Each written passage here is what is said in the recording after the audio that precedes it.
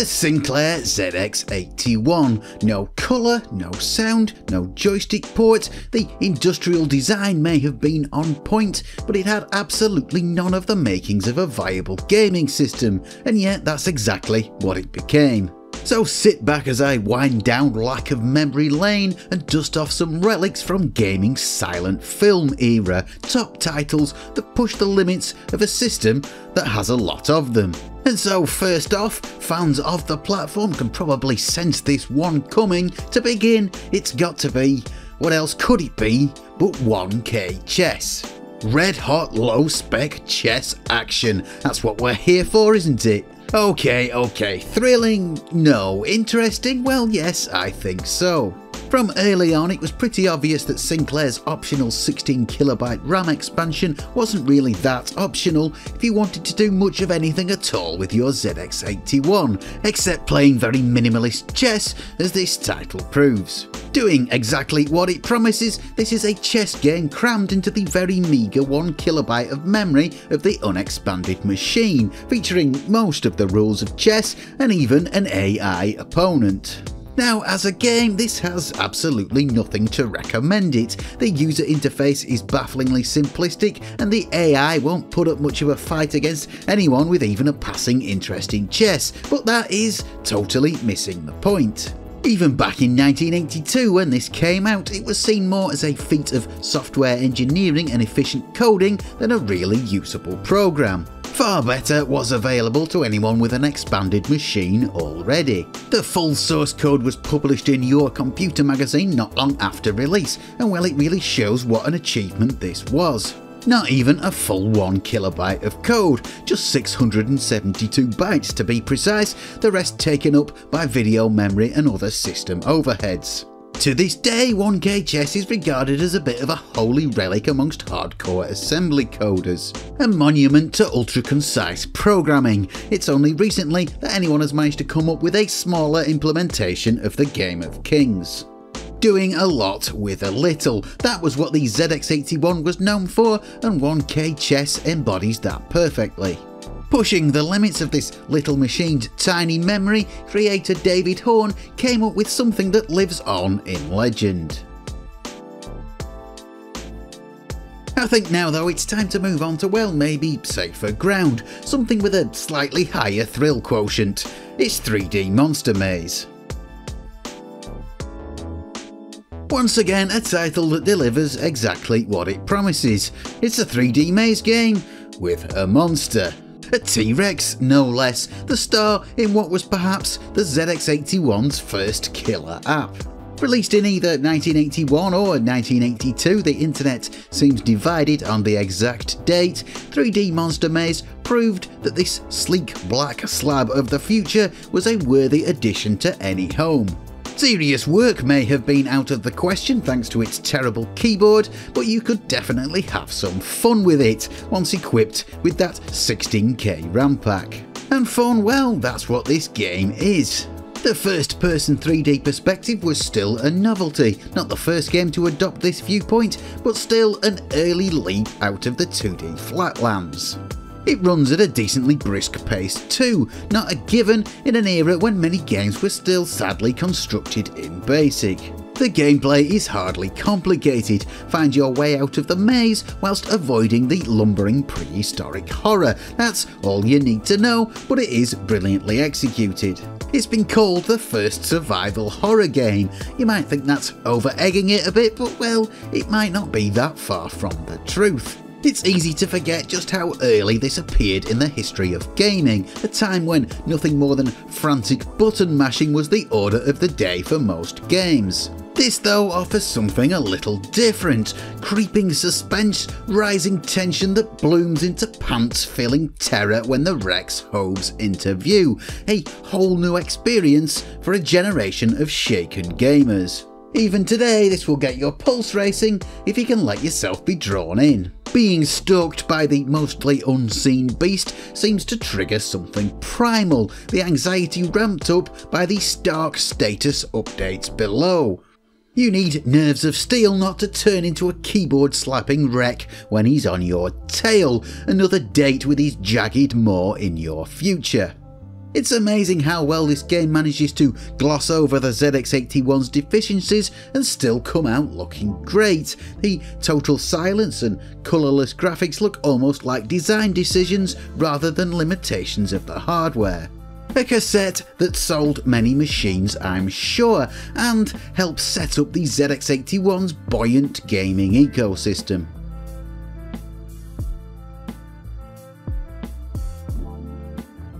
And so let's stay in 1982 for the moment, a good year for the ZX81, and have a quick poke at 49er.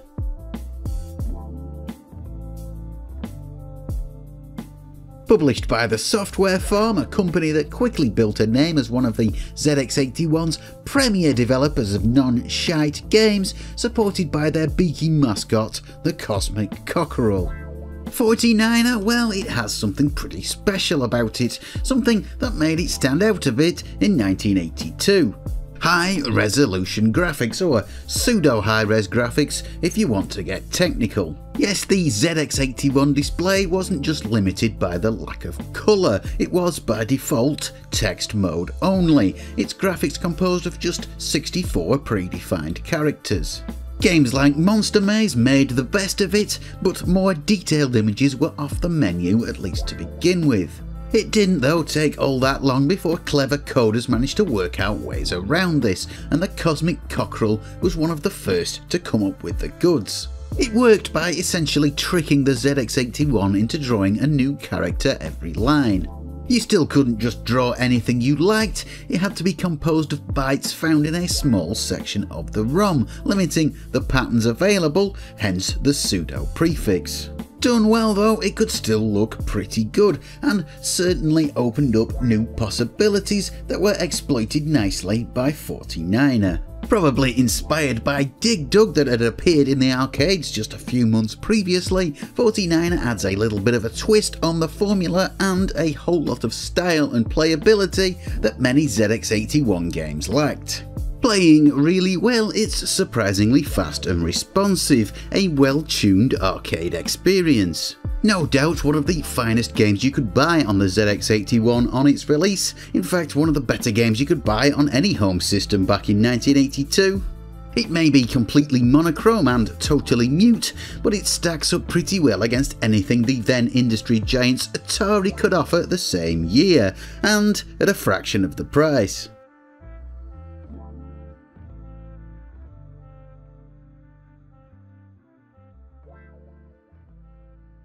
So, whilst we're about it, let's take a look at another one from the software farm. It's Rocket Man.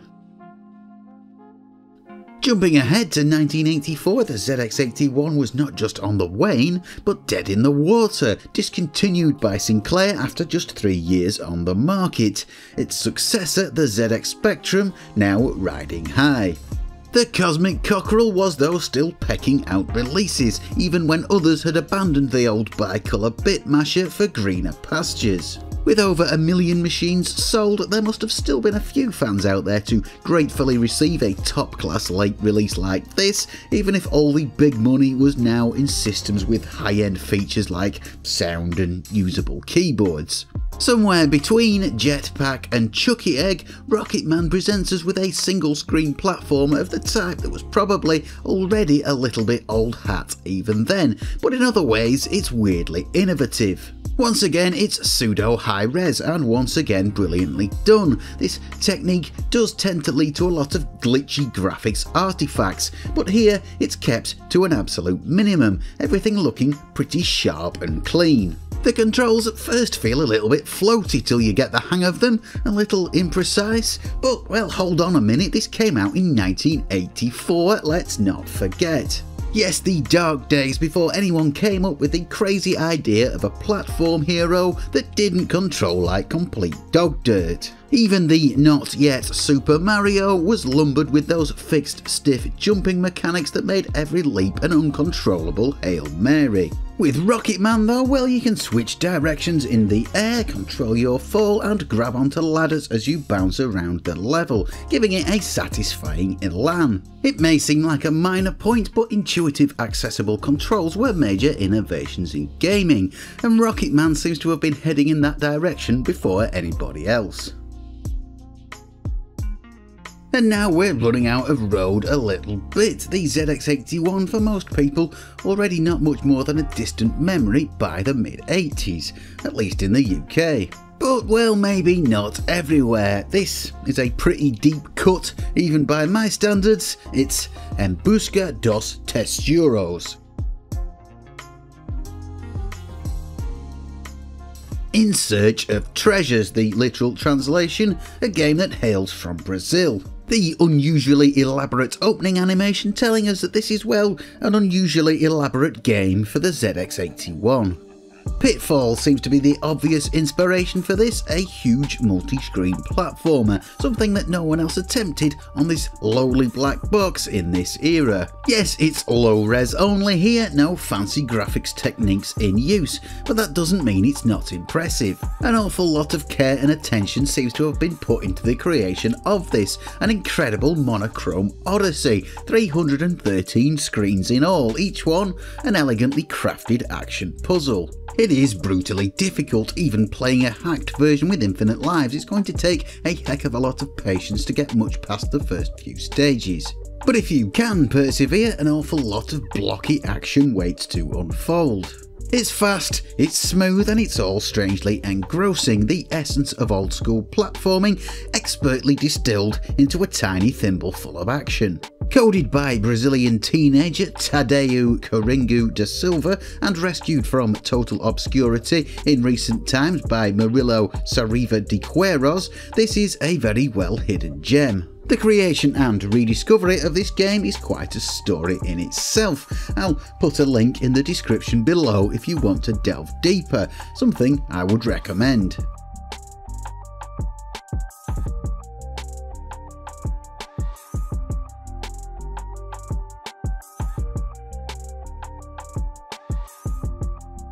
So where can we go from here? Well, I think we're going to have to make another decades-wide jump into the future. No surprise really, the ZX81 went, well, fallow for an awful long time, even more so than other 8-bit machines, releases completely drying up for some years. So let's take a look at a neo-retro classic from 2016, it's Against the Elements. Pseudo high res, yes indeed, but also isometric 3D, a first for this combination on the ZX81? Well I think it might be. The sort of 3D game that became a big deal on the ZX Spectrum, almost its signature manoeuvre, but if you thought its older, creakier, crappier brother couldn't handle it, well you'd be wrong, but understandably so. Knight Lore, Head Over Heels and about a thousand others helped to define Spectrum gaming, and this does a darn fine rendition of that paradigm. Puzzle solving 3D platforming is the vibe as always, set across a pretty large and interconnected map. Moving platforms, patrolling enemies and lots of naughty little skill and ingenuity problems. You know what to expect, but all really nicely done. And considering the massive, massive restrictions of the ZX81, this really is a thumping victory for the old achromatic Ambler. Isometric graphics like this caused a real stir when they appeared on the ZX Spectrum back in 1984, but the ZX81 is so much less powerful. It's not just the lack of sound or the text mode graphics that held the old girl back when compared to its slightly less crappy sibling, but a slower CPU and the higher processing overhead, especially with pseudo high res like this. Then, considering even with the expanded RAM it's still just 16k, well that is some magic being woven by programmer Paul Farrow. You know, it really wouldn't be hard to mistake this for a Spectrum game. A graphically polished adventure with the sort of complexity you rarely get on this hardware. In fact, let's hold that thought because this game does support the Chroma interface, a modern colour add-on for this formerly colour-free computer. And yes, slap on a bit of colour and this does look well exactly like it could be a Spectrum game. Bravo! But hold on a mo, colour on the ZX81, sacrilege surely. Well, maybe, and anyway, I think this is a road I'm not going to go down for now.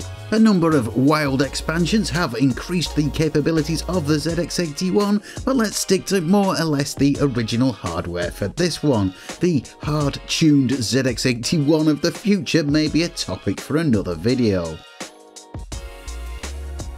And so, for the finale, let's go full circle back to the completely naked and unadorned 1K ZX81 with some true, non pseudo high res and Nohzdyve.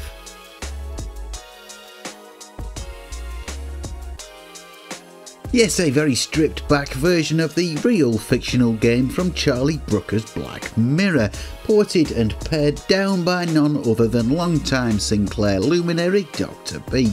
As it turns out, true high resolution sidestepping the problems of pseudo high resolution is possible on the ZX81 with yet more clever trickery usually requiring a compatible RAM pack, though many are or can be modified to be so, but it is possible to achieve it with just a stock 1K if you can squeeze the code in there.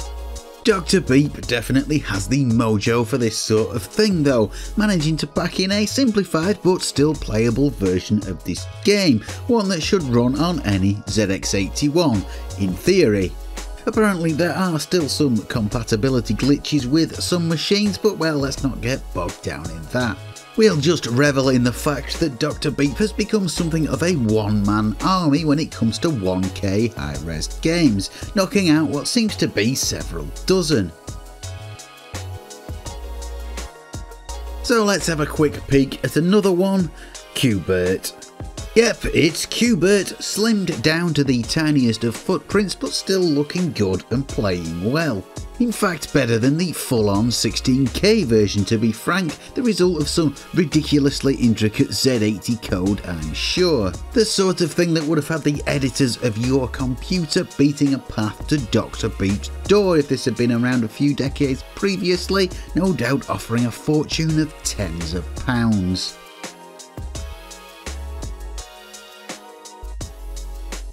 And now I think the end draws near for this video. I could, I could go on, but this seems like a good place to wind down the one bit bandwagon. Your patience running out, even if mine isn't. I really thought I'd have a hard time finding stuff for this video. 3D Monster Maze, a couple of the better high-res games, and well, that would be it. Let's face it, the ZX81 had a pretty short commercial life. But no, there's loads and loads more, both ancient and modern, so let me know what I've missed out, won't you? I'm sure you will, and I will say goodbye, and I'll see you next time.